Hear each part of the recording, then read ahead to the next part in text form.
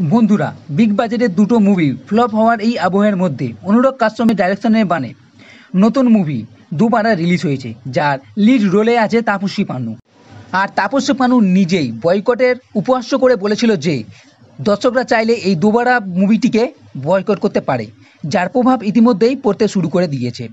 যার ফলে cinema hall একদম পুরো খালি পড়ে আছে। আর প্রথম দিনের কালেকশান শুধুমাত্র দশ লাখ টাকাই হয়েছে। আর আমি আপনাদের বলে দিই যে এই মুভিটি দু হাজার আঠেরোয় রিলিজ হওয়া হলিউডের মুভি, মিলেজের রিমেক একটি মুভি।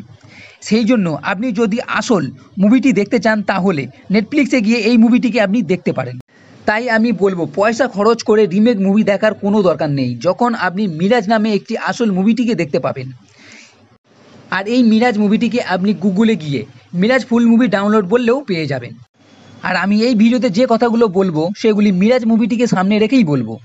আর আমি এটাও আপনাদের বলে দিই যে এটি একটি সায়েন্স ফিকশন টাইম লুপের মুভি সেই জন্য যারা এখনও পর্যন্ত মিরাজ মুভিটি দেখেননি, তাদের কাছে এই দুবারা মুভিটি খুবই পছন্দ হবে। কেননা এই মুভিটির মধ্যে এতটাই টুইস্ট অর টান্স আছে যে আপনি ভাবতেও পারবেন না। কথায় আছে যে নকল করার জন্য বুদ্ধির প্রয়োজন হয়। আর এই দোবারা মুভিটি দেখার পর এটা তো বলতেই হবে যে অনুরাগ কাশ্যপও এই মুভিটি বানানোর জন্য অনেক বুদ্ধি খরচ করেছে। আর শুরু থেকে শেষ পর্যন্ত এই মুভিটা আপনাকে বেঁধে রাখবে, এটা তো বলা যেতেই পারে। কেননা, এই মুভির প্লটই এরকম। আগে কি হবে? এটি জানার জন্য আপনি এই মুভিটা দেখতে বাধ্য হবেন। টাইম ট্রাভেল সম্বন্ধে মুভি খুবই কম তৈরি হয়। আর এই মুভির যে কাহিনীটা আছে, সেটাও আপনার খুবই ভালো লাগবে।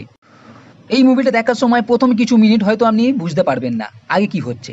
কিন্তু যখন কাহিনীটা আগে এগোতে থাকবে, তখন আপনি আস্তে আস্তে সব কিছু বুঝতে পেরে যাবেন। বিশেষ করে চল্লিশ মিনিটের পর থেকে আপনার এই মুভিটা আরও ভালো লাগতে শুরু করবে। এবং এর আগে বোঝানোর জন্য এই মুভিটার কাহিনী সম্বন্ধে কিছুটা জানা যাক। এই কাহিনীটি শুরু হয় উনিশশো নব্বই সালে একটি ঝড়ের মধ্যে। যখন একটি ছেলে টিভিতে রেকর্ড করার সময় ওই টিভির মধ্যে একটি মেয়েকে দেখে, অন্তরা নামে, যে ভবিষ্যৎ থেকে এসেছে। আর অন্তরা অনয়কে বাইরে যেতে বারণ করে, কারণ ওই সময় পাশের বাড়িতে একটি মার্ডার হয়ে যায় আর ওই মার্ডারটিকে অনয় দেখেছিল।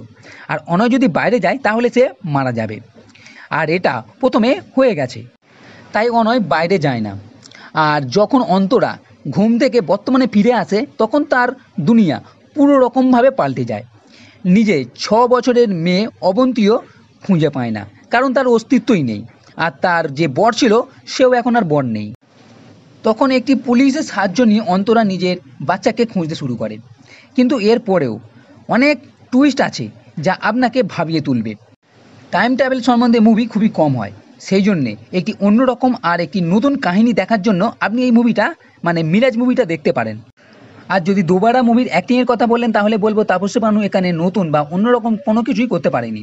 তবে অনয়ের চরিত্রে চন্দনী যাদব ভালো কাজ করেছে। তো বন্ধুরা, আপনি মিরাজ মুভিটি দেখুন এবং আমাকে জানান যে এই মুভিটি আপনার কেমন লাগল। আর এই ভিডিওটা যদি আপনার ভালো লেগে থাকে, তাহলে লাইক করো কমেন্ট করো শেয়ার করো আর এই চ্যানেলটা সাবস্ক্রাইব করতে ভুলবে না। এই ভিডিওটি দেখার জন্য ধন্যবাদ।